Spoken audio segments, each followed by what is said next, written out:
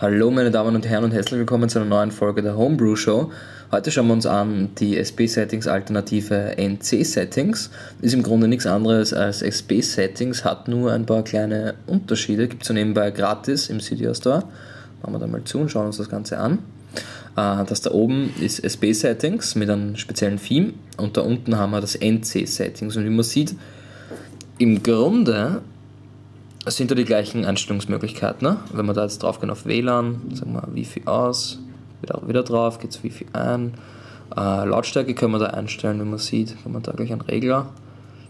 Wir können da, das ist Respring, da können wir die Helligkeit verstellen und so weiter. Äh, das ist mobile Daten und so weiter. Und wie man sieht, man kann da auch nach rechts gehen und hat dann noch weitere Schaltflächen. Das Schöne an der ganzen Sache ist, wenn wir da jetzt draufdrücken auf eines und oben bleiben, fängt das Ganze an sich zu bewegen und was heißt das, wenn es sich bewegt? Wir können es verschieben. Das heißt, ich könnte jetzt das Respring da nach rechts schieben, ganz nach außen. Wobei, Entschuldigung, ich muss mich da korrigieren, das ist die Ausrichtungssperre ist das. Das da ist Respring.